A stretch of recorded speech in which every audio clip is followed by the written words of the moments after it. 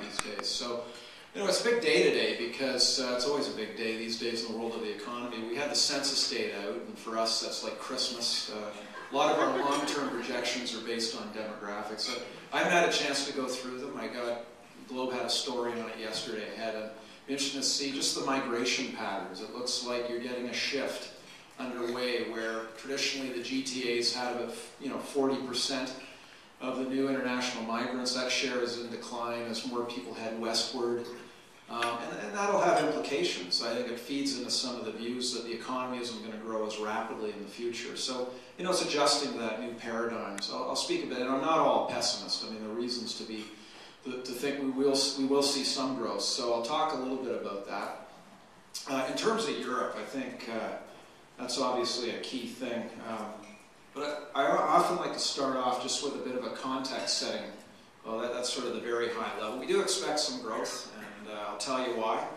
Um, and uh, I'll, I'll, touch on it. Again, I think we often get caught up as analysts. There's a lot of uncertainty, and when you, you're looking at Europe, and many different things could play out there. It's very hard to pin down. It's more, more optimism we're not headed for a disaster, but there still is a risk. So that's all downside stuff, but there are a lot of upside risks. So the United States has been pleasantly surprising us. So I think it's important to point out that any good forecast should be balanced. It's not. So it really depends on how I want to tell the story now. I can focus on the downside risk, but I'll give you a bit of both. Keep it balanced, and uh, just a little bit on, on, the, on the housing prices. That that view may be a little bit dated. I, I don't think we're quite as. Oh no, that, that's all right. We we had a in the one of the headings, I think it says that 2012 we're going to see a bit of a price correction, but we're not believing that uh, anymore. Now, lately, what's helped reduce the amount of worries, because Greece, we know, is still facing enormous challenges, and this is an important week for Greece. Uh, but the European Central Bank has provided a lot of liquidity to the banks, three-year uh, issues. The banks have been lapping it up. It's the way they've been keeping their funding going, and I know there are a lot of financial people that can uh, that follow that because uh, it does get a bit complex. But the banks need funding, and they haven't been able to get it so uh, directly from the markets. But the European Central Bank has been helping them. So that's the liquidity risk. But we're still dealing with the, the solvency risk of Greece. And the next few weeks are going to be very important because they need new funding from the so-called troika that have been supporting them in the European Union, IMF, European Central Bank.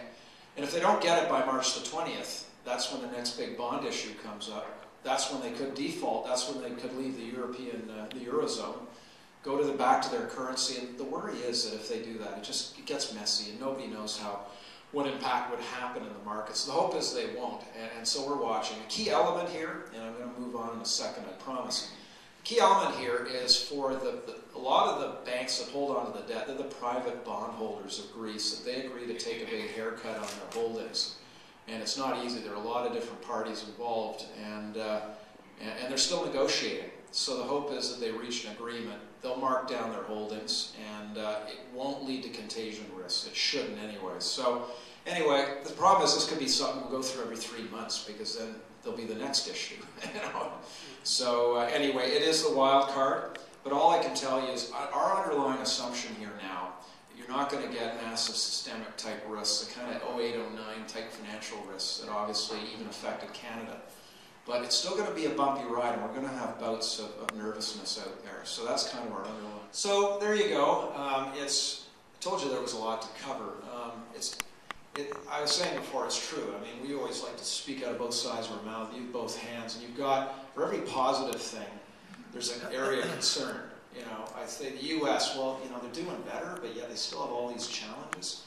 Um, housing, uh, that employment spurt we've had could slow down, and, and Europe is a huge uncertainty. The flip side, they could, you know, they could do better. We could do better. We could see more consumer spending with low rates.